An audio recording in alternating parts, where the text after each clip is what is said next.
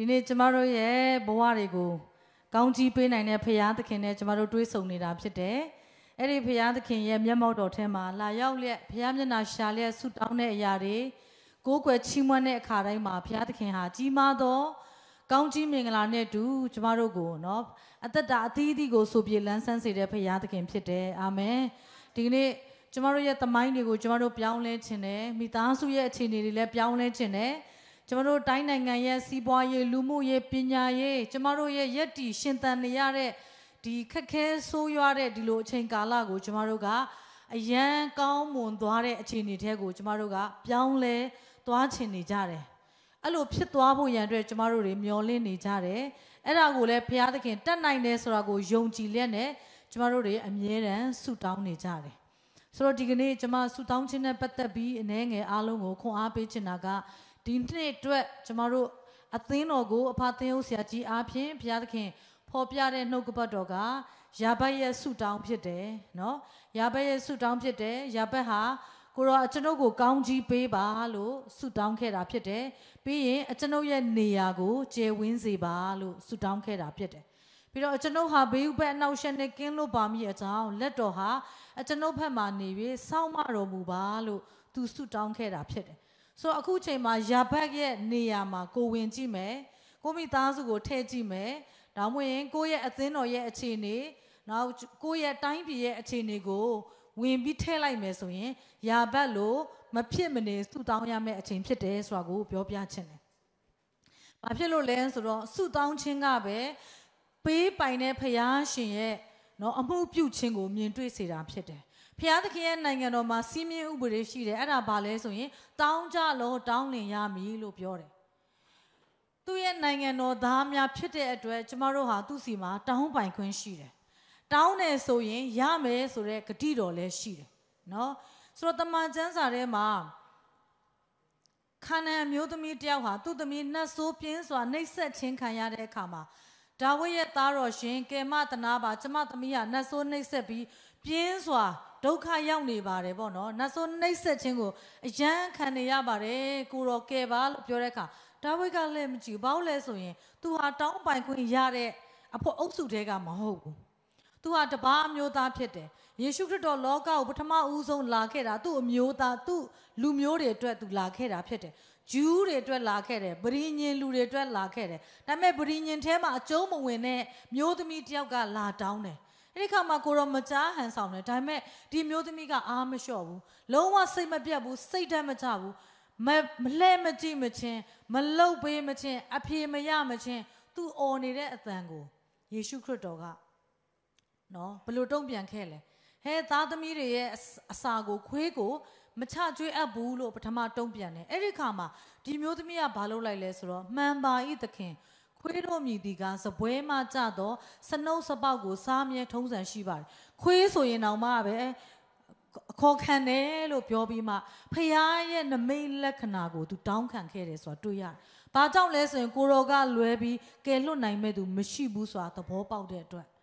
ဒီကနေ့သင်လည်းသင်အခြေအနေကိုသင်ပြောင်းလဲပြစ်ချင်မယ်။သင်ရက်တည်နေရတဲ့သင်မိသားစုရဲ့အနာဂတ်ကိုသင်ဒီတိုင်းဆက်မသွားကျင်တော့ဘူး သင်တိုင်းပြည်ရဲ့အခြေအနေတွေကိုနေ့တိုင်းသင်တင်မြင်ရတယ်ကြားရတယ်အရန်ကိုကျမတို့စိတ်မကောင်းဖြစ်ရတယ်တခါလေငိုရတယ်တခါလေကြားလို့ရှိရင်ဘလို့ဆက်ဆူတောင်းမှမမသိအောင်တခါလေလည်းအရန်စိတ်ပင်ပန်းပြီးမှလေဟိုဗာလဲဟာတာ post တွေဟလားအဲပြီးရင်လေရှောက်သွားနေတဲ့ post တွေတောင်တင်ပြချင်စိတ်ပေါက်တဲ့အချိန်ရှိတယ်လူကလေတကယ်ကောက်ချင်လာတယ်နော်အဲ့လိုမျိုးအချိန်ကာလပေါ့နော်ဒီကာလ ပြောမယ်ဆိုလို့ရှင်ဒါပေမဲ့ဒီကာလမှာကျမတို့ကိုဘုရားသခင်ကမှန်ကန်စွာရွေးချယ်ပြီးမှန်ကန်စွာလှုပ်ဆောင်နိုင်ဖို့ရန်အလိုရှိတယ်နော်ကျမကျမပုံတပုံလေးပို့ထားပါတယ်ဟိုမီဒီယာထီးမှနေဂျေစုပြုရေးပြပေးပါဦး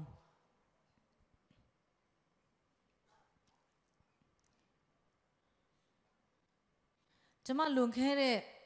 ဟိုနှစ်နှစ်လောက်အိမ်မှာကိုဗစ်ကြောင့်နှစ်နှစ်ကျော်ကကိုဗစ်ကြောင့်အိမ်မှာနေတဲ့အချိန်မှာ ကျမကိုမလေးရှားနိုင်ငံရဲ့ဆုတောင်းအဖွဲ့တစ်ဖွဲ့ကနေသူတို့ရဲ့ဆုတောင်းစီစဉ်လေးမှာဒီဟာလေးကိုသူတို့ကပို့လိုက်တာပေါ့နော်အဲ့ဒါနဲ့ကျမကြည့်လိုက်တော့ဒီမှာအားလုံးတွေးလိုက်မယ်သူတို့ကဂျာတာပရိနေ့တိုင်း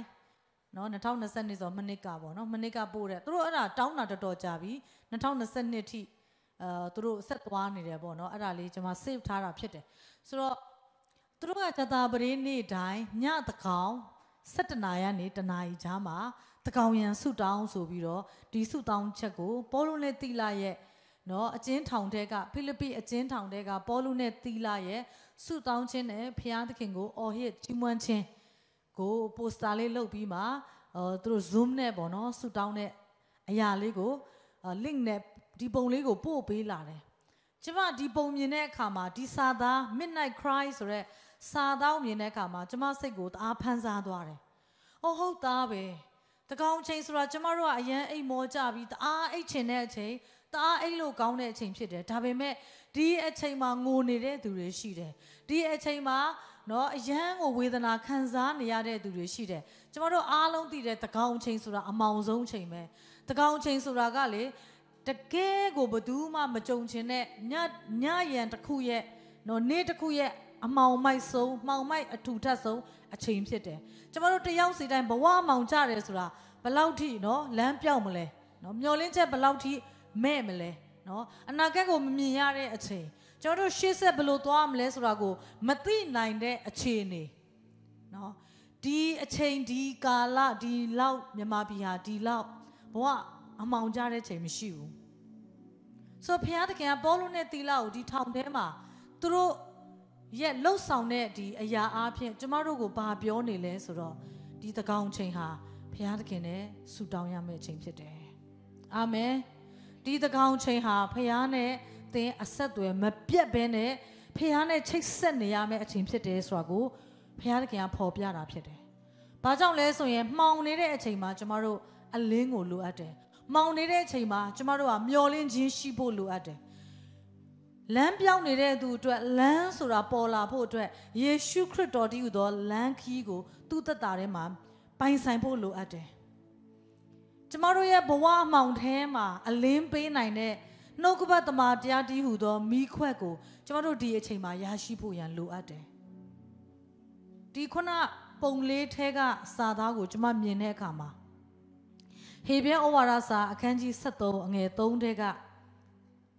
ကျမ်းစာလေးကိုကျွန်မဖတ်ဖတ်စေချင်ပါတယ်ဟေဘရဲဩဝါဒစာအခန်းကြီး73အငယ်3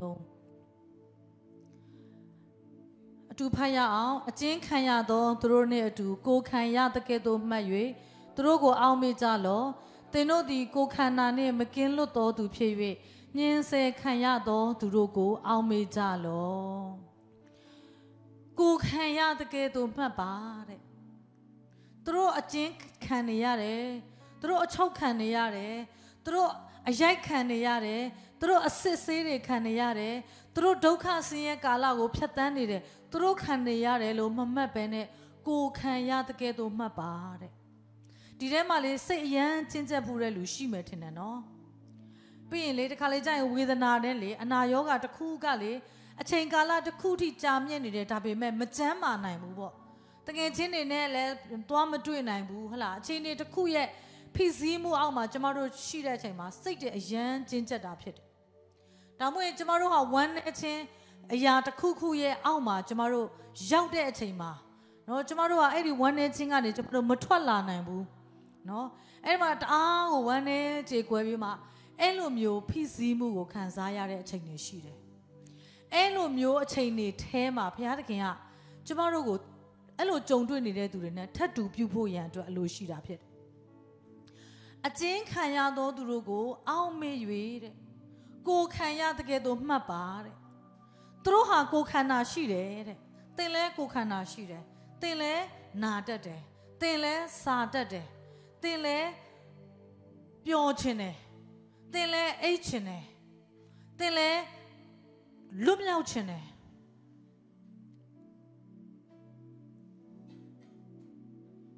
ဒီနေ့ကျမတို့ ဒီမှာရှိနေတဲ့လူငယ်တွေဘာလို့ရင်ကောင်းမလဲဆိုတာမသိဘဲနဲ့လမ်းပြောင်းနေတဲ့မြန်မာပြည်သားတွေရှိတယ်အခုချိန်မှာဆိုရင်ဟိုပြေးဒီလွားနဲ့နော်ဘလို့မှရှေ့ဆက်လက်ကမ်းမမြင်လမ်းမမြင်အနေထားပိတ်မိနေတဲ့သူတွေလည်းရှိတယ်နော်အချိန်ကြီးအမျိုးမျိုးပေါ့နော်ပြောမယ်ဆိုရင်ဒီလောက်ထိကျမတို့စိတ်ဖိစီးမှုနဲ့ဝမ်းနဲ့ကြေကွဲခြင်းခံစားရတဲ့ကြီးမားတဲ့စိန်ခေါ်မှုနော်ငွေကြေးအရန်ကျက်တဲလာတယ် စားဝတ်နေအဆင်မပြေဘူးအလုပ်မရှိဘူးလူတွေကတက်သေးဖို့ပဲထွက်ပေါက်မရှိတဲ့လူတွေကတတ်သေးဖို့ပဲစဉ်းစားလာကြတဲ့အချိန်နော်လူရဲမှုတွေအများများနေတယ်လူသက်မှုတွေလည်းလွယ်လွယ်လေးပဲနော်အခြေအနေအမျိုးမျိုးကြုံတွေ့နေတယ်ကျမအားပေးချင်ပါတယ်ဒီနေ့ကျမအင်ဒိုနီးရှားနိုင်ငံရဲ့အခြေအနေလေးတွေနဲ့ကျမအားပေးသွားချင်ပါတယ် အကြောင်းမျိုးမျိုးကြောင့်ကျမပုံမပြပေးနိုင်ဘူးဘာလို့လဲဆိုတော့အင်ဒိုနီးရှားစာတွေနဲ့လှုပ်ထားတဲ့အာသူတို့သတင်းစာလေးတွေအပိုင်းစာလေးတွေပါတဲ့အတွက်ပေါ့နော်နားလည်မှာမဟုတ်တဲ့အတွက်ကျမတို့အခုကြုံတွေ့နေရတဲ့ crisis ပေါ့နော် economic crisis ပညာရေးအတွက်အာနိုင်ငံရေးအခြေအနေအမျိုးမျိုးကြုံတွေ့နေရတဲ့ crisis မျိုးကိုကျမတို့ရဲ့အိမ်နီးချင်းအင်ဒိုနီးရှားနိုင်ငံကကြုံတွေ့တာဖြစ်တယ်။ ကျမတို့ကလူမျိုးနွယ်စုပေါင်း135မျိုးကွဲပြားပင်မဲ့အင်ဒိုနီးရှားမှာလူမျိုးနွယ်စုပေါင်း1300ရှိတယ်။ပြီးအင်ဒိုနီးရှားနိုင်ငံဟာကမ္ဘာပေါ်မှာ Muslim very strong နိုင်ငံဖြစ်တယ်။နော်။ဆိုတော့အာရှမှာစီးပွားရေးကျသွားတဲ့အချိန်မှာ1998ခုနှစ်မှာအမေရိကန်ဒေါ်လာသူတို့ရဲ့ငွေလဲနှုန်းတော့ဒေါ်လာကအင်ဒိုနီးရှားရူပီယာသုံးတယ်ပေါ့ ငွေကြေးအရန်ဖောင်းပွားတယ်ကျမတို့ထက်တောင်မှငွေကြေးဖောင်းပွားတယ်အင်ဒိုနီးရှားရောက်ရင်ကျမတို့ကလေတန်းကြွယ်တတိဖြစ်သွားတန်းကြွယ်တတိဖြစ်ခြင်းအင်ဒိုနီးရှားသွားလိုက်ပါနော်စင်ကာပူဒေါ်လာ100ကလေဟိုမှာတန်းနေတန်းနေဖြစ်နေနော်ကျမတို့တန်းကြွယ်တတိဖြစ်သွားဆိုတော့အမေရိကန်ဒေါ်လာကိုသူက1998 ဂျွန်လကနေ1998ဇူလိုင်လအတွင်းနှစ်နှစ်အဲတစ်နှစ်အတွင်းပေါ့နော်တစ်နှစ်အတွင်းမှာဘာဘယ်လောက်ဖြစ်သွားခဲ့လဲဆိုရင်အင်ဒိုနီးရှားပတ်စံရူပီယာအာရူပီယာပေါ့နော်2380ကအမေရိကန်ဒေါ်လာနဲ့ညီမျှတဲ့ဟာကိုတစ်နှစ်အတွင်းမှာဘယ်လောက်ထိငွေရကျသွားလဲဆိုရင်1400အဲမဟုတ်14000နဲ့150ဖြစ်သွားတယ် နော်သူတို့ရဲ့ပတ်စံတန်ဖိုးကြအခုမြန်မာပတ်စံကိုတန်းပြေးမြင်လိမ့်မယ်အားလုံး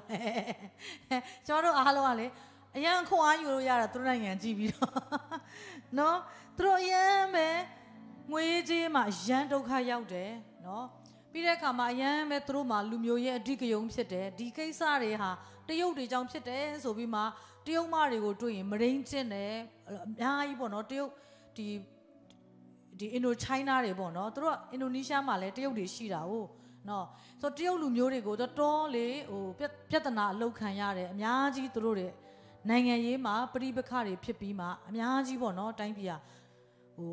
ဘယ်လိုပြောမလဲသူတို့နိုင်ငံမှာတော့ terrorist ပေါ့နော် terrorist တွေကနေနိုင်ငံကိုတအားနှောက်ယှက်တယ်ဟိုဥပမာဆိုပါစို့ဥပမာပြောမယ်ဆိုလို့ရှိရင်သူတို့နိုင်ငံကအင်ဒိုနီးရှားနိုင်ငံဘာလီကျွန်းဆိုနာမည်ကြီးတယ်လေနော် ဘာလီကျွန်းဆိုတကယ် tourist တွေလာတဲ့ကျွန်းဖြစ်တယ်အဲ့ဒီ tourist တွေလာတဲ့ကျွန်းမှာဘုံခွဲပေးလိုက်တယ်ဆိုတော့ဟို hotel လုပ်ငန်းပေါ့ tourism လုပ်ငန်းကပြန်ပြတ်သွားတယ်လုံခြုံမှုမရှိခရီးသွားလို့မရတဲ့နိုင်ငံဖြစ်နေတယ်အဲအဲ့လိုမျိုးပေါ့နော်ဆိုတော့ဘာမှဘာမှသူတို့မှတခုလုံးလိုက်တိုင်းအတိုက်ခိုက်တစ်ခုရှိတယ်နောက်တစ်ခါအရန်နာမည်ကြီးခဲ့တဲ့ sorry နော်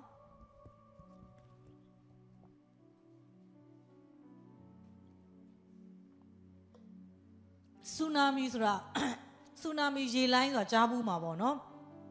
2004မှာလားမသိဘူးနော်ဆူနာမီရေလိုင်းရိုက်ခတ်ပြီးမှ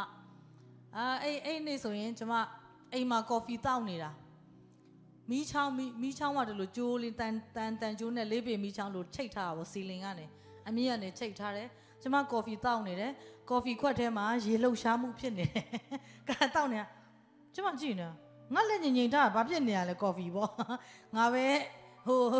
ဟဲငါပဲအေးမဝသေးတာလားဘာဖြစ်နေလဲပေါ့နော်နောက်ကြတော့ကျွီးကျွီးဆိုမိချောင်းကြည့်တော့မိချောင်းလည်းရမ်းနေတယ်နောက်ခါကျခိုင်ကြတော့ရေအဲမီးပိုချောင်းကရေတိုင်ကြီးကနေရေအပြည့်တင်ထားတာအဲ့ဒီရေတွေက plug plug ဆိုရှန်ပြီးမှနော်မီးပိုထဲကိုဝင်နေတယ်ပေါ့နော်ရေတွေလို့ရှန်ထွက်ပြီးကြာအဲ့ခါမှာ ကျမသိလိုက်တယ်ငလင်လောက်တယ်ဆိုပြီးတော့เนาะအဲ့ဒါအဲ့ငလင်ကဘာလဲဆိုအင်ဒိုနီးရှားရဲ့ဆူနာမီရေငလင်ပေါ့เนาะ အကြီးအကျယ်လှုပ်ပြီးမှကျမတို့ဒီအိန္ဒိနာချင်းထိုင်းနိုင်ငံဖူကက်ကမ်းခြေမှာဆိုရင်အလောင်းအလောင်းတွေပေါ့နော်ဒီလိုဟိုတယ်တွေထဲထိဝင်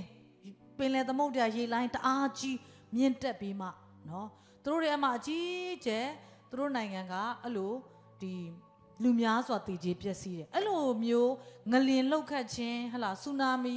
တိုက်ချင်းဆိုတာကလေတစ်ချိန်လည်းမဟုတ်ဘူးအချိန်ပေါင်းများစွာနော်ပြီးတဲ့အခါမှာမုန်တိုင်းဝင်လိုက်ငလင်လှုပ်လိုက်မီးတောင်ပေါက်လိုက်စသဖြင့်သူတို့မှလေအရန်ကိုမျောလင်းချက်နည်းနည်းလေးကောင်းလာပြီဆိုပြန်ကျသွားလိုက်ပြန်ထောင်လာလိုက်ပြန်လဲသွားလိုက်အဲ့လိုနေ့ရက်ပေါင်းနှစ်ပေါင်းများစွာသူတို့ဖြတ်တန်းခဲ့ရသူတို့ကြုံတွေ့ခဲ့ရတယ်ဒါနဲ့သူတို့ဘာလုပ်လာလဲဆိုတော့ အင်ဒိုနီးရှားနိုင်ငံရဲ့မြို့တော်ဂျကာတာမှာ25ထပ်မြင့်တဲ့နေရာမှာသူတို့ prayer tower စပြီးလုပ်လာ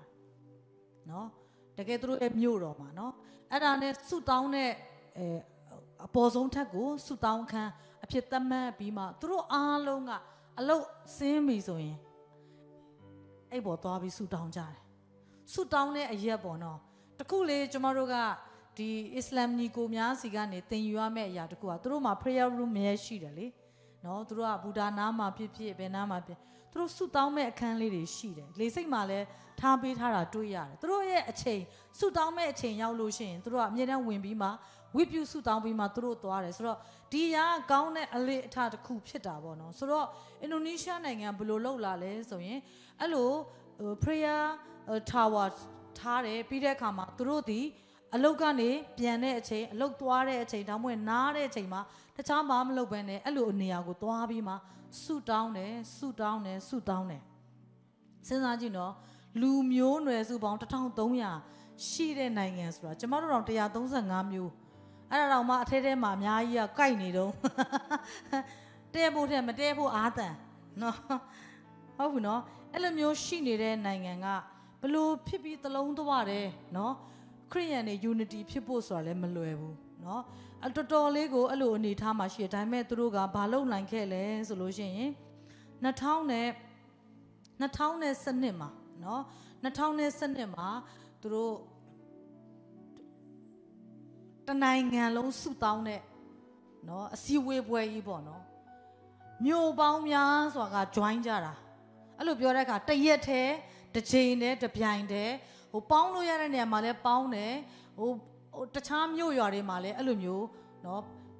စုတောင်းတဲ့နေရာထားပြီးမှတနိုင်ငံတနိုင်ငံလုံးပေါ့နော်အတူတကွာစုတောင်းတဲ့အစီအစဉ်ကိုလုပ်ကြတယ်သူတို့ကကျမတို့ကိုဘာပဲပြောလဲဆိုတော့နင်တို့ဖြစ်နေတဲ့အခြေအနေအလုံးဟာငါတို့ဖြစ်ခဲ့တဲ့အခြေအနေတွေပဲတဲ့ဒါဆိုရင်တဲ့ငါတို့နိုင်ငံဟာဘလို့အားဖြင့်ပြောင်းလဲလာလဲဆိုရင်တဲ့ယုံကြည်သူတွေအသင်းတော်တွေ အဲ့လိုဆုတောင်းတဲ့နေရာမှာလာရင်းနဲ့အသင်းတော်တွေကအတူတူဆုတောင်းရင်းနဲ့ဆုတောင်းတဲ့အစီအစဉ်တွေထဲမှာအားလုံးတစ်လုံးတစ်ပါးတည်းရက်တည်လာတဲ့အခါမှာသူတို့နိုင်ငံပြောင်းလဲသွားတာဖြစ်တယ်တဲ့အခုချိန်မှာဆိုရင်လေကမ္ဘာစက်မှုအင်အားကြီးနိုင်ငံထဲမှာသူတို့ကပါနေပြီနော်တစ်ကနေ30ထဲမှာသူတို့ရှိတယ်စီးပွားရေးမှာအရန်ဖွံ့ဖြိုးတိုးတက်ပြီးမှထိတ်တန်းရောက်တဲ့နိုင်ငံထဲမှာရှိတယ်နော်အင်ဒိုနီးရှားကလေတော်တော်လေးချမ်းသာတယ်လို့ပဲကျွန်မမြင်တယ် တော်လေးသူတို့ချမ်းသာကြတယ်ဟိုခက်ခဲတဲ့သူတွေတော့ရှိတယ်ဒါပေမဲ့ယုံကြည်သူတွေကလေတကယ်ကိုချမ်းသာကြတယ်ဖះကိုလည်းတကယ်ရှာကြတယ်ဖះနဲ့လည်းသွားကြတယ်နော်နောက်ဆုံးကျွန်မဘာအားပေးခြင်းလဲဆိုတော့ဖះနဲ့သွားတဲ့မျိုးဆက်ဖះကိုရတဲ့မျိုးဆက်ဒီဝိညာဉ်ရေးမှာတကယ်ပဲနော်ဒံယေလတို့လိုဟလာဖះမျက်နာကိုရှာပြီးမှဖះသခင်ရဲ့ ကူမခြင်းကိုရရှိတဲ့မျိုးဆက်ကပဲတိုင်းပြည်ရဲ့သမိုင်းကိုပြောင်းလဲပြီးကောင်းကြီးမင်္ဂလာဖြစ်သွားမှာဖြစ်တယ်အာမင်အားကြောင့်ဒီကနေ့ဒီမှာရှိနေတဲ့လူငယ်တွေဒီအချိန်ကိုကျွန်မအားလုံးအတွက်အခွင့်အရေးဖြစ်တယ်လို့အားပေးချင်တာဖြစ်တယ်ဘာဖြစ်လို့လဲဆိုတော့သင်ရဲ့ဆုတောင်းခြင်းဟာသင်သမိုင်းမဟုတ်သင်မိသားစုသမိုင်းမမဟုတ်ဘူးဒီတိုင်းနိုင်ငံတမိုင်းသမိုင်းတစ်ခုလုံးကိုပြောင်းလဲစီမှာဖြစ်တယ်ဟာလေလုယာ မဖြစ်နိုင်ဘူးလို့ကျမတို့ထင်နေရတဲ့ကိစ္စတွေအားလုံးဟာဆုတောင်းတာကြာလာတာနဲ့အမျှနယံတစ်ခုကိုအချက်ပေါင်းများစွာထူရိုက်ရင်အဲ့ဒီနယံဟာတနေ့မှာပြိုလဲတယ်ဒီနေ့သင်ရဲ့ယုံကြည်ခြင်းနဲ့ဘုရားပေါ်မှာဖျားတတ်နိုင်တယ်ဆိုတော့ဝန်ခံလျက်နှုတ်ကပတ်တော်တွေကိုကြည်ညာလျက်ဆွေးမြဲစွာတက်ဆွမ်းသောဘုရားရှင်ကိုယုံကြည်တဲ့အကြောင်းပြလျက်သင်ဆုတောင်းနေမယ်ဆိုရင်သင်အတွက်မဖြစ်နိုင်ဘူးဆိုတော့ အီရီခေါ်လို့ပေါ့နော်မင်းဒီအခွင့်အရေးမရဘူးမင်းကဒီမြို့ထဲဝင်ခွင့်မရှိဘူးဒီအခွင့်အရေးဆိုတာကဒီ class ထဲမှာမင်းရှိမှမင်းရမှာမင်းကဒီအုပ်စုတွေကမဟုတ်ဘူးမရဘူးဆိုတော့တတိုင်းနေလဲပြိုးချမယ်နေရောက်မယ်အာမင်အာမင်အဲကြောင့်ဒီကနေ့အားလုံးအားပေးခြင်းတယ်ကိုကျမတို့လိုချင်နေတဲ့အဖြစ်ကျမတို့လိုချင်တဲ့အနာဂတ်ဟာကျမတို့ရဲ့ဆုတောင်းခြင်းနဲ့ပုံဖော်နိုင်တာဖြစ်တယ်အာမင်အဲကြောင့်အခုဒီမှာရှိနေတဲ့လူငယ်တွေ ကိုဗစ်မတိုင်ခင်မှာညလုံးပေါက်ဆုတောင်းနေရှိခဲ့တယ်ဒါပေမဲ့ဆုတောင်းခြင်းလေတောင်းလို့ရတယ်အာမင်ဘလို့နီလန်းနဲ့ပဲဖြစ်ဖြစ် zoom နဲ့ပဲဖြစ်ဖြစ်ဘလို့နီလန်းပဲဖြစ်ဖြစ်ဆုတောင်းခြင်းရင်တောင်းလို့ရတယ်ဒီအခွင့်အရေးဟာလူတိုင်းအတွက်ဘုရားခင် ပေးထားတဲ့အခွင့်အရေးဖြစ်တယ်သမရလည်း24နာရီပဲကျမလည်း24နာရီပဲရှင်တို့အားလုံး24နာရီပဲရတာအဲ24နာရီမှာသမင်းစားတဲ့ချိန်အိတ်ချိန်တွေကျမတို့နှုတ်လိုက်မယ် ဟောကျောင်းသက်တာဟာလားပညာလေ့လာတာဒီသင်ယူတာတွေကိုကျမတို့နှုတ်လိုက်မယ်ဆိုရင်ကျမတို့အာကျမတို့ကိုဘုရားသခင်ပေးထားတဲ့အချိန်တွေရှိတယ်အဲ့ဒီအချိန်နာရီတွေကိုကျမတို့ဘယ်လိုအသုံးပြုသွားမလဲဆိုတဲ့အရာအဲ့ဒီအချိန်နာရီတွေထဲမှာဒိုင်လအရန်လုံများပါတယ်ဒါပေမဲ့တစ်နေ့သုံးချိန်ဘုရားမျက်နှာရှာတဲ့အကြောင်းကိုမှတ်တမ်းတင်ထားတယ်ဒိုင်လဟာနိုင်ငံပေါင်း100ကျော်တဲ့တိုင်းပြည်ရဲ့ဝင်းကြီးချုပ်ဖြစ်တယ် ဝင်အကြီးအကြီးထမ်းထားတဲ့သူဖြစ်တဲ့အတွက်အကြီးကျယ်ဆုတောင်းတယ်လို့လည်းပြောလို့ရတယ်အာမင်ဘာဖြစ်လို့လဲဖခင်ရဲ့လက်တော်ကိုလိုတယ်ဖခင်ရဲ့ကူမခြင်းဖခင်ရဲ့ဂျေဇုပြုခြင်းကိုလိုတယ်တခါလေသူ့ကိုမနာလိုလို့ဘေးချက်နံချက်နဲ့ချင်းသိသွင်းသေးကိုသူလည်းအခြားခံတဲ့ချိန်ရှိတယ်ဒါပေမဲ့ဖခင်ကယ်လွတ်တာပဲသူ့အားဖြင့်အဲ့တိုင်းနိုင်ငံမှာဖခင်ဘုံမှုထင်ရှားခဲ့တာဖြစ်တယ်နော်အဲကြောင့်ဒီကနေ့အားပေးခြင်းတယ်ဒီကနေ့သင်သင်ဆုတောင်းတဲ့သူဖြစ်ပါ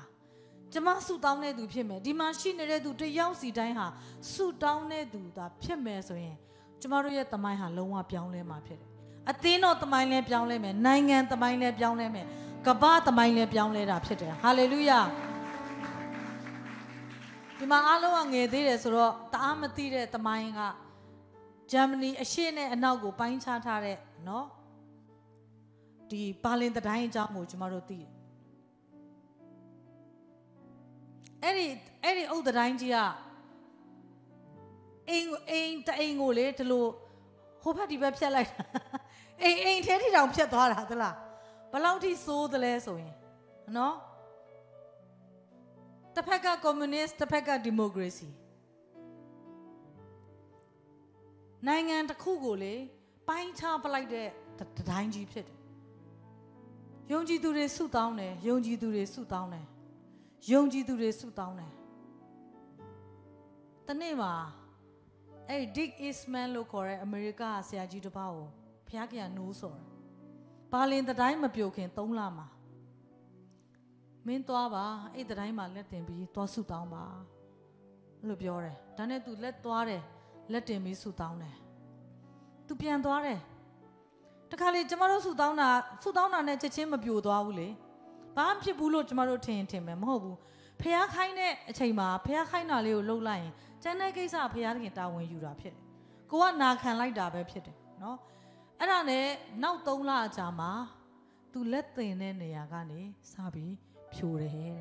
ဟာလေလုယာဟာလေလုယာဒါကြောင့်ဒီကနေ့ကျမတို့ရဲ့ဆုတောင်းခြင်းကိုကျမတို့တိုင်းနိုင်ငံကအယမ်းလိုအပ်နေတာဖြစ်တယ် အသင်းတော်ရဲ့ဆုတောင်းခြင်းကိုမြန်မာပြည်သူပြည်သားအားလုံးကလိုအပ်နေတာဖြစ်တယ်အမောင်ဆုံးသောအချိန်ဟာဆုတောင်းရမယ့်အချိန်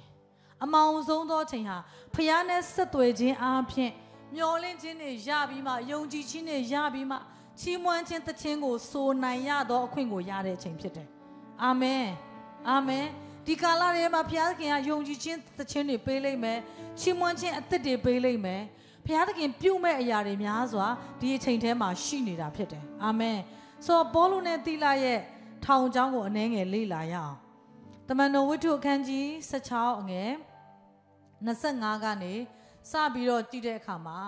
ပေါလုနဲ့သီလာဟာနတ်ဝင်တဲ့မျိုးသမီးအထဲကနတ်ဆိုးကို မောင်းထုတ်လိုက်တဲ့အခါမှာဒီမိန်းကလေးကိုနော်နတ် ဟိုဝင်ခိုင်းပြီးမှဘေဒင်အတက်နဲ့ရှာစားခိုင်းတဲ့သူ့ရဲ့တထေးတွေကသူ့ကိုပိုင်တဲ့တထေးတွေကစီးပွားမဖြစ်တော့ဘူးဆိုတော့သိတဲ့အတွက်စိတ်ဆိုးလုံးလို့စစ်သားတွေကိုပတ်စံပေးပြီးမှနော်သူတို့ကိုရိုက်နှက်စေပြီးထောင်ချလိုက်တာဖြစ်တယ်ထောင်ဆိုတဲ့နေရာပြောဖို့မကောင်းနော်အအသင်းတော်တွေကတချို့မမျော်လင့်မဲနဲ့ထောင်ကျသွားလို့ကျမလည်းထောင်ဝင်စာသွားတွေ့ဘူးတယ် သူ့ကိုကြည့်ရင်ငိုရှင်တာနဲ့ပဲစကားကမပြောနိုင်ဘူးနော်အချင်းချင်းကိုစိတ်နေရတယ်ဆီယမတွေဆိုတော့စိတ်ပြော့တာပေါ့နော်သူ့ကိုကြည့်ပြီးရမ်းစိတ်မကောင်းနော်ဘယ်တော့လောက်ထွက်လာမလဲဆို तू က16နှစ်လောက်ကြာတာဘယ်တော့လောက်လွတ်မလဲဆိုရင်အဲလူငိမ့်ချမ်းသာခွင့်ရှိရင်တော့လွတ်မယ်လို့မျိုးနေနဲ့နော်အားလုံးသိမှာပါအခုတော့လွတ်သွားပြီအာမင်ဒါပေမဲ့ သူ့ကိုကြည့်ရင်ကျမတို့စိတ်မချမ်းသာဘူးငိုချင်နေတာနော်အမျိုးမျိုးပေါ့မမျော်လင့်မဲနဲ့ဟိုကြံရပါဆိုပြီးမှအအချုပ်သေးပေါ့အမှုလည်းမစစ်ဖြစ်ပဲနဲ့အချုပ်ကြတဲ့သူကျမတို့အတင်းသားတယောက်လည်းရှိတယ်သူကိုယ်တိုင်သုံးနှစ်နော်သုံးနှစ်အချုပ်ကြတာနော်အမှုကမမစစ်ဖြစ်ဘူး ယုံချင်းယုံချင်းလာလိုက်ပြုတ်လိုက်မမလာလိုက်ပါညာနဲ့ဟိုဘက်ကလည်းပတ်စံပေးဒီဘက်ကလည်းပတ်စံပေးနဲ့နော်ပြောမယ်ဆိုလို့ရှိရင်သူ့အမှုကလုံးဝမစစ်ဖြစ်ဘူးသူတော်မလေအင်းစိန်ထောင်ပါလေဈေးရောင်းစားပြီးမှအဆင်ပြေနေပြီသူ့ကိုကြံရပါဆိုပြီးဆွဲထည့်ထားတော့လေ तू ကဘာပြစ်မှုမှလည်းမဟုတ်ပြန်ဘူးလေနော်အမှုကလည်းမစစ်တော့စီရင်ချက်လည်းမချတော့ ထောင်လည်းမကြဘူးဒါပေမဲ့အရန်ကိုအရန်ပြောပြီးဝတ်သားတွေကြောပြီးမှရောင်းနေတာ तू အထဲမှာအရန်နေအစင်အောင်ပြေနေ business ဖြစ်နေပြီဒါပေမဲ့ तू ကိုယ်တိုင်ကအထဲရောက်သွားတဲ့အခါမှာနော်ကျမဆုတောင်းစီခြင်းလို့ပြောတာဖြစ်တယ်ကျမတို့ကနားမလည်ဆုတောင်းတတ်မှာမဟုတ်ဘူးဘု து ဟောမှာထိခိုက်စေလို့တော့ရည်ရွယ်ချက်ကျမမရှိဘူးဆုတောင်းဖို့လိုနေတဲ့အကြောင်းကိုပြောချင်တာပဲဖြစ်တယ်နော် တိုင်လိုက်မှပဲနော်ဗာလဲတရတရလိုကတရခံဖြစ်ပြီးရောက်သွားတဲ့သူအထဲရောက်မှပဲဟလာကိုကအကျွေးပေးလိုက်တယ်ဟိုကိုကိုအကျွေးယူထားတဲ့သူကကိုကိုမဆက်ချင်တော့တစ်ဖက်လဲနဲ့ထောင်ချောက်ဆင်ပြီးမှသူအကျွေးရှင်ကထောင်ကျသွားတာဘာကြောင့်အထဲရောက်သွားမှမသိဘူးဟိုရောက်တော့မှသူ့ကိုဖြစ်ပိုင်းလာပြီးဒါကြောင့်နင်ရော့နေအမှုကဒါဒီလို နားလည်နိုင်ဖို့ဘုရားကောင်းကြီးပေးပါစေအကြောင်းမျိုးမျိုးနဲ့ဘာမှညာမှမသိပဲရောက်နေတဲ့သူတွေအများကြီးရှိတယ်နော်ဒုက္ခဆင်းရဲပေါင်းများစွာခံစားနေရတဲ့သူငိုနေရတဲ့သူနာကျင်နေတဲ့သူအများကြီးရှိတယ်ကျမတို့တို့တွေလွတ်မြောက်ဖို့အတွက်ကျမတို့ကိုဆူတောင်းဖို့ဘုရားလိုရှိတယ်သင်ကတော့အိတ်နိုင်တယ်သင်စားနိုင်တယ်နော်အခုလေကျွန်တော်စဉ်းစားနေရထွက်ပြေးပြီးမှဒုက္ခရောက်ပြီးစားစရာမတော့ရှိ မစားစရာတော့စရာမရှိတဲ့လူကလည်းမရှိအရှမ်းပြည်မြောက်ပိုင်းတောင်ပိုင်းကလည်းမိဘုံပွဲတွေလှုပ်အနောက်ဘက်ကလည်းထွက်ပြေးသိမ်းရှောင်းဟုတ်လားရန်ကုန်ကဖွဲ့တွေကလည်းအေးဆေးပဲဘလို့ဘလို့ပြောမှမသိကိုလို့ကိုလုံးနေရလို့ပဲပြောမှာပေါ့နော်စစ်တိုက်တဲ့လူကတိုက်တယ်တယောက်ကဖို့စီးတာရမ်းကြီးချင်တယ် စစ်တိုက်တဲ့လူကတိုက်အင်္ဂလိပ်ဟောတဲ့လူကဟောမင်္ဂလာဆောင်ရတဲ့လူကဆောင်တယ်တရားဟောဆရာဆိုတော့လက်ထပ်ပေးတယ်အဲ့လိုရေးထားတော့ကိုလို့ကိုလုံးနေကြပါဘောအားလုံးကနော်ဒီကာလဒီဒီနေ့ရဲ့အမေဒီကာလတွေထဲမှာသူတို့ခံစားရတဲ့ဒုက္ခဆင်းရဲတွေကိုသူတို့နဲ့ထပ်တူပြုပြီးတော့ကျမတို့ကိုဆုတောင်းဖို့ရန်ဘုရားရှင်လိုရှိတယ်အာမင် အဲကြောင့်လစ်လူမရှိပါနဲ့တကောင်ရန်အချိန်မှာပေါလုနဲ့တီလာတို့ဟာကျေးဇူးပြုပြပေးပါအောင်ပထနာပြုပြီးမှချီးမွမ်းသခြင်းကိုဆိုကြတယ်တမန်တော်ဝတ္ထုခန်းကြီး16ငယ်25ကနေနော်30နေထိတကောင်ချိန်၌ပေါလုနှင့်သီလာတို့သည်ပထနာပြု၍ဘုရားသခင်ကိုချီးမွမ်းလျက်သခြင်းဆိုလေ၏ ထောင်ထဲမှနှောင်ဖွဲ့ခြင်းကိုခံရသောသူတို့သည် နားထောင်ကြ၏ထိုခဏချင်းတွင် မြေကြီးစီပြင်းစွာလှုပ်သောကြောင့်ထောင်ချေရင်လဲလှုပ်ရှား၏တကားရှိသမျှတို့သည်ချက်ချင်းပွင့်၍လူအပေါင်းတို့သည်နှောင်ဖွဲ့ခြင်းနှင့်လွတ်ကြ၏ထောင်မှုသည်နိုး၍ထောင်တကားများပွင့်လျက်ရှိသည်ကိုမြင်လျင်နှောင်ဖွဲ့ခြင်းကိုခံရသောသူတို့သည်ထွက်ပြေးကြပြီဟုထင်မှတ်သည်နှင့်ဓားကိုအိမ်မှဆွဲထုတ်၍ ကိုယ်အသက်ကိုတတ်မီပြုလေ၏ပေါလုကလည်းကိုကိုအပြစ်မပြုနှင့်ငါတို့အပေါင်းသည်ရှိကြ၏ဟုကြီးသောတန်နှင့်ဟေ့၍ပြောဆို၏ထောင်မှုသည်ညှိထွန်းသောမိကိုတောင်းပြီးမှပြေးဝင်၍ပေါလုနှင့်သီလာတို့၏ခြေရင်း၌တုံလုံးလျက်ပြက်ဝတ်လေ၏โอเคသူတို့ကိုပြင်သို့ထုတ်ပြီးလင်သခင်သခင်တို့အကျွန်ုပ်သည်ကယ်တင်ခြင်းသို့ရောက်အံ့သောကအဘယ်သို့ပြုရပါမည်နည်းဟုမေးလျှောက်လေ၏ 34တိဖတ်မယ်နော်ထိုသူတို့ကလည်းသခင်ယေရှုခရစ်ကိုယုံကြည်လောယုံကြည်လင်သင်နှင့်သင်အိမ်သူအိမ်သားတို့သည်ကယ်တင်ခြင်းသို့ရောက်ကြလိမ့်မည်ဟုပြောဆိုလျက်ထိုသူမှစ၍သူ၏အိမ်၌ရှိသမျှသောသူတို့အားသခင်ဖျား၏နှုတ်ကပတ်တရားတော်ကိုဟောကြ၏ထိုညထိုအချိန်၌ပင်ထောင်မှုသည် ပေါလုနှင့်သီလကိုယူ၍တန်ချက်ရာများကိုစေကြောပြီးလင်မိမိလူအပေါင်းတို့နှင့်တကွဗတ္တိဇံကိုချက်ချင်းခံလေ၏တပံပေါလုနှင့်သီလတို့ကိုမိမိအိမ်သို့ခေါ်ပင့်ပြီးမှသူတို့ကိုလှုပ်ကြွေး၍ဖျားသခင်ကိုယုံကြည်လျက်အိမ်သူအိမ်သားအပေါင်းတို့နှင့်တကွဝမ်းမြောက်ခြင်းသို့ရောက်လေ၏အာမင်တကယ်ပျော်စရာမကောင်းတဲ့အခြေအနေထဲမှာ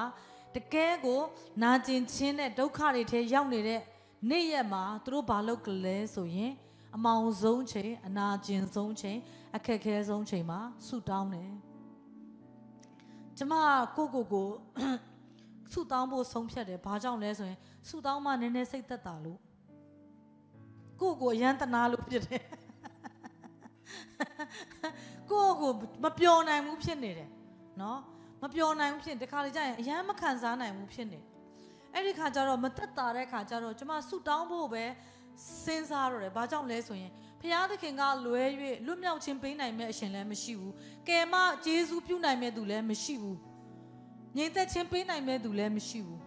เนาะကျမတို့ကိုတာဝန်ယူပေးနိုင်မဲ့သူလည်းဖះလွယ်ပြီးမရှိဘူးအဲကြောင့်ဒီအချိန်တွေထဲမှာကျမတို့လှုပ်သိတဲ့အရာကဖះသခင်ကိုဆုတောင်းတယ်အဲ့ဒီအလုပ်ကတော့လုံးဝ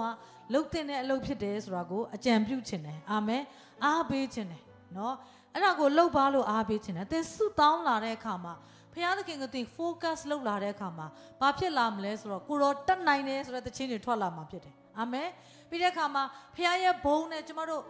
ထိတွေ့ခြင်းခံတဲ့အခါမှာယုံကြည်ခြင်းရလာမယ်ကိုကိုယ်တိုင်ငြိမ်သက်ခြင်းရလာမယ်ကိုကိုယ်တိုင်လွတ်မြောက်ခြင်းရလာမယ်သင်အတန်ကိုသင်လှုပ်ထွက်နှုတ်နှုတ်ကနေ ထုတ်လွတ်လက်တခြင်းဆိုလာနိုင်မယ်အဲ့လိုတခြင်းဆိုနေတဲ့အချိန်မှာသင်လိုပဲဒုက္ခနဲ့ဝမ်းနည်းပြီးစကားပြောစရာမရှိဘူးဖော်ပြလို့မရတဲ့ကြေကွဲခြင်းထဲမှာရှိနေတဲ့သူတွေဟာသင်ဆူတောင်းနေတဲ့အတန်သင်တခြင်းဆိုတဲ့အတန်ကိုကြားပြီးတော့သင်လွတ်မြောက်တယ်လို့သူတို့လွတ်မြောက်လာမှာဖြစ်တယ်အာမင်ဒီအချိန်မှာလေထုထဲမှာလွတ်ချင်းကိုဖြစ်စေမဲ့ချီးမွမ်းတဲ့ချင်းကို ဆိုရမယ့်အချိန်ဖြစ်တယ်အာမင်လွတ်ချင်းကိုဖြစ်စေမဲ့နှုတ်ကပတ်တော်ကိုကြီးညာရမယ့်အချိန်ဖြစ်တယ်လူများစွာလမ်းပြောက်တဲ့ဒုက္ခရောက်နေတဲ့အရန်သောကတွေကြုံတွေ့နေတယ်မပြောပေမဲ့အဖေတွေကသားသမီးတွေရဲ့ပညာရေးအတွက်စိတ်ပူတယ်ကလေးတွေကမေးကြတယ်အဖေဒါပြီးရင်ဘာလဲ what is next step ဘာဆက်လုပ်ရမှာလဲဘလောက်ဘလောက်သူတို့ကိုတာဝန်ယူနိုင်မှာမိဘတွေလည်းအရန်စိတ်ညစ် တချို့တွေတက်သေးကြတယ်ကလေးတွေလည်းအဲ့လိုရှိတယ်လူကြီးတွေမှလည်းအဲ့လိုရှိတယ်ပြောပြောချင်တာပါလဲဆိုတော့ဖိစီးမှုအရန်များလာတဲ့အခါမှာလူတွေကဖျားနဲ့မတွေ့ရင်နော်သူတို့ထွက်မြောက်လန်းဟာဒီဘဝကိုအဆုံးသတ်လိုက်ဖို့ဖြစ်တယ်ဒီမှာလဲထောင်မှုကသူ့ဘဝကိုအဆုံးသတ်လိုက်ချင်တာဘာလို့လဲအားလုံးထွက်ပြေးသွားပြီလို့ထင်လို့ဒါပေမဲ့သူ့ကိုလည်းကဲတင်နိုင်တဲ့ဖျားကို ပေါ်လူနဲ့တီလာအပြင်သူလည်းရရှိခဲ့တယ်။သူပဲရတာမဟုတ်တအိမ်သားလုံးရတဲ့အခါမှာနောက်ဆုံးမှပါရေးထားလဲသူတို့ဟာလည်းအလွန်ဝမ်းမြောက်ကြတယ်။ဟာလေလုယာ။သင်ရရှိတဲ့ဝမ်းမြောက်ခြင်းသင်ရရှိတဲ့လွတ်မြောက်ခြင်းကိုသင်ပတ်ဝန်းကျင်မှာရှိတဲ့သူတွေကလည်းရရှိတဲ့အခါမှာသင်ဝမ်းမြောက်တယ်လို့ဝမ်းမြောက်မယ်။သင်လွတ်မြောက်တယ်လို့လွတ်မြောက်မှာဖြစ်တယ်။အာမင်။အဲကြောင့်ဒီကနေ့အသင်းတော်တွေဟာတာဝန်ရှိတယ်။ယုံကြည်သူတွေဟာတာဝန်ရှိတယ်အဲ့ဒါဘာလဲဆိုတော့သင် လုပ်ရမယ့်အလုပ်ကိုသင်လုပ်ရင်ဖရာသခင်ကသူလုပ်ရမယ့်အလုပ်ကိုမဆောင်ဘူးမဆောင်ဘူးကြာမြင့်စွာဘုရားရှင်မတီးခံဘူးချက်ချင်းအမှုပြုမဲ့ဘုရားဖြစ်တယ်ဟာလေလုယာဆိုအရာအဲ့ဒါကိုအရန်အားပေးခြင်းနဲ့ပြီးတဲ့အခါမှာတမန်တော်ဝိတ္ထုခန်းကြီးစနစ်ထဲကအကျဉ်းချနေတဲ့ပေတုရဲ့အကြောင်းနဲ့ဆက်ပြီးပြောခြင်းနဲ့အသင်းတော်တွေကိုဟေရုမင်းကြီးကညှင်းဆဲပြီးမှ ယောဟန်ရဲ့အကိုဖြစ်တဲ့ယာကုပ်ကိုဓားနဲ့ကွက်မြက်လိုက်တဲ့အချိန်ဖြစ်တယ်။ယူဒလူတွေကလည်းအယံဝမ်းမြောက်တယ်ယူဒဆိုတော့ဂျူးဘာသာပေါ့နော်။ယေရှုကိုယုံကြည်တဲ့သူတွေကယေရှုနောက်လိုက်တော့ဂျူးဘာသာနဲ့စွန့်ခွာတယ်။သူတို့ကဘာသာအလွဲဖြစ်တယ်လို့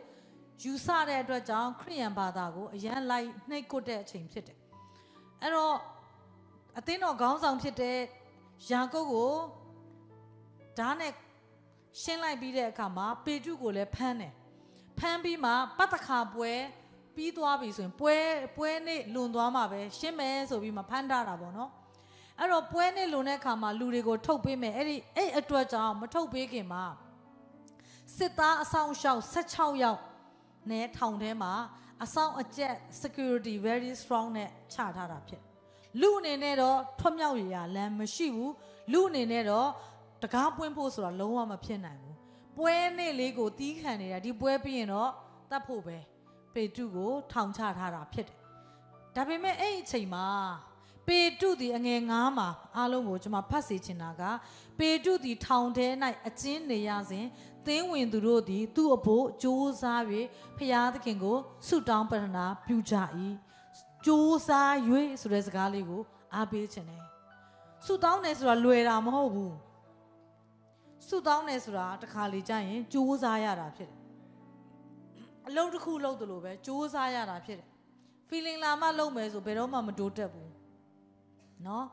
feeling လာမှစားမယ်ဆိုရင်လည်းဘယ်တော့မှဝမှာမဟုတ်ဘူးဒါမှမဟုတ် feeling လာတိုင်းစားတယ်ဆိုရင်လည်းပြီးရောပေါ့နော်အစားအသောက်မှာထိုးဖောက်မှုရတဲ့သူတွေကတော့ရှိတယ်တသက်အေးစားငားလိုက်တယ်ဆိုတာတသက်ရှိတယ်ဒါပေမဲ့ပညာကိုသင်တယ်ဒီနေ့ကျောင်းတက်ရစိတ်မပါဘူးကျောင်းမတက်ဘူးဆိုရင်ဘာဖြစ်မလဲ ဘယ်ဆောင်မွဲတွေဖြစ်နိုင်မလဲဟိုကျမရေးလေးချင်းခံသွားလို့တယ်ဟလာ gym တွေသွားတယ်အာ I don't feel like going gym ဆိုရင်ဘာဖြစ်မလဲအဲ့ကြွက်သားတွေကပိန်ရမလို့ဝါမလို့နော်ဒီလူကလည်းအမျိုးမျိုးနော်အစင်မပြေဘူးလေလှုပ်ရှားရှိတာကိုကျမတို့ခန်းစားချက်တွေနဲ့ကျမတို့သွားလို့မရအောင်လှုပ်ရှားရှိတာကို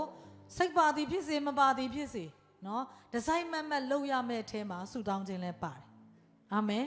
feeling လာမှတောင်းမယ်ဆိုဘယ်တော့မှမလာဘူးအဲ့အဲ့ချင်တဲ့ feeling ပဲလာတယ်เนาะအားလုံးเนาะတရင်နိုးတဲ့အခါအကြံပေါ်တယ်တဲ့ပေါ်သည့်အကြံပြန်အိပ်ရန်တဲ့အဲအဲ့လိုအကြံလေးတွေကရှိတတ်ပါတရင်နိုးတော့အကြံပေါ်ပေါ်သည့်အကြံဆုတောင်းရန်အာမင်အဲ့လိုဖြစ်ပါ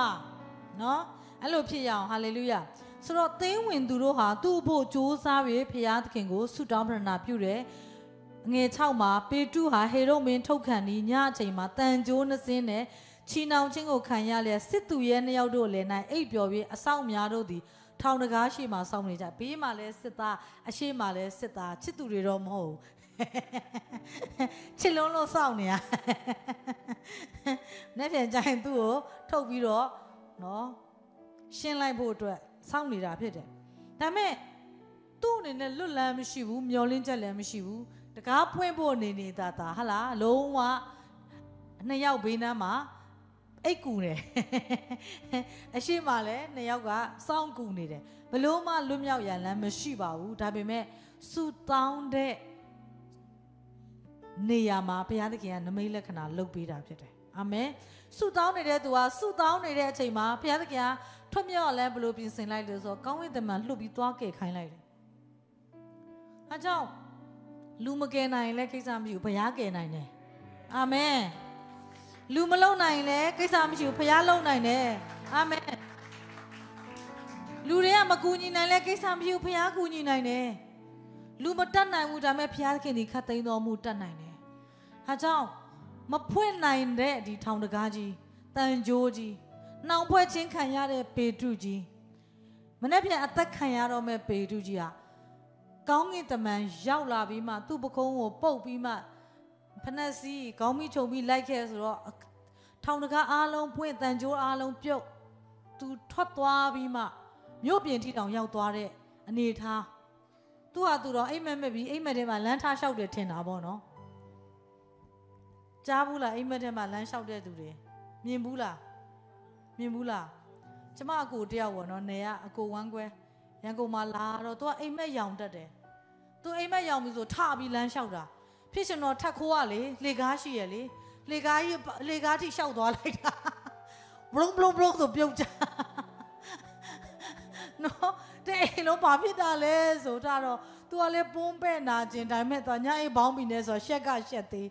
မိဖွင့်လို့မရဘူးကူချင်တာတော့ကူညီခွင့်မရချောင်း ကျမအမေကိုနီနီနီမဖွင့်နဲ့မဖွင့်နဲ့ဆိုပြီးတော့အိမ်ပေါ်ပြန်တက်သွား